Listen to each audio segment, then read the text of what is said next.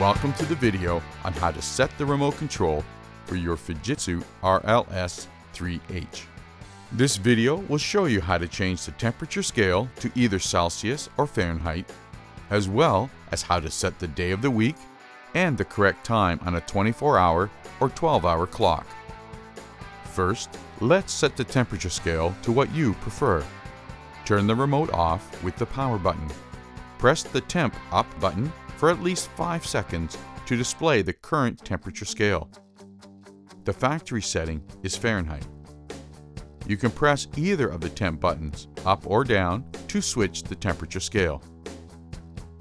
You now press the power button and the temperature scale currently selected will be set. Let's set the day of the week, whether the clock is 24 hour or 12 hour, and we'll set the time. Press the clock adjust button to start the clock setting function. You set the day of the week by pressing the select button either up or down. By pressing the temp up or down button, the time indicator can be changed from a 24 hour to a 12 hour clock. To set the time, you must press the next button to continue. Set the time by pressing the select button. You will notice that by pressing the up or down arrows on the select button, it will change the value by the minute.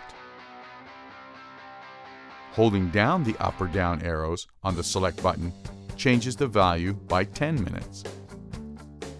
To finish, simply press the send button.